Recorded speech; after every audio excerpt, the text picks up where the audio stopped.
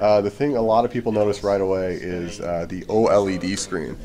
Uh, you know, Razer, we love uh, offering gamers, you know, customizable options, and th- this one's great. I mean, you can go into program mode, and the cool thing about this is there's actually four additional buttons on rockers back here. Yeah. You can screw these off if you don't want them, but uh, they're great for first-person shooters because you can run around, program these buttons to do what you want, and sprint, you know, uh, knife, and do all those things without having to take your hands off the sticks. So if you go into program mode, you can actually hold a button on the back, hold one of the rockers, and let's set it to A.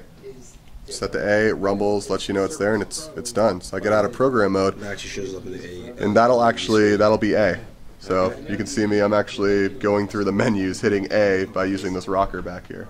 So we're, we're, we're, excited about that. I love the fact that it actually shows up on the screen there because to me, especially uh, having a controller at home where I want to Mm-hmm. and you're like, are you sure I actually programmed it there? Did it work? Mm-hmm. You, you have, you know, those kind of options. Yeah, you know, it, it- it's not the largest screen in the world, but I mean, it's actually it's super intuitive. I mean, you have two profiles there, switch back and forth, program mode, test mode. You can turn the rumble on and off. I kind of like, I kind of like the rumble mode because it rumble off, no rumble on, rumble on, Yeah, exclamation It's point, like. vibrating and blurred. Yeah, screen here. it's it's it's it's pretty cool. I mean, it's you know, it's not the biggest screen in the world, but it, you know, it does everything you'd want it to do.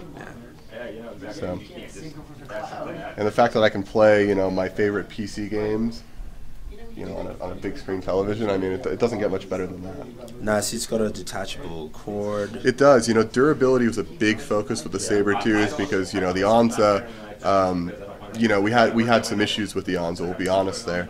Um, and durability with you know the top of the controller here, where it plugs into the where the cord plugs into the controller, was a big point of emphasis. And you know, we, we feel like the Sabertooth is going to be.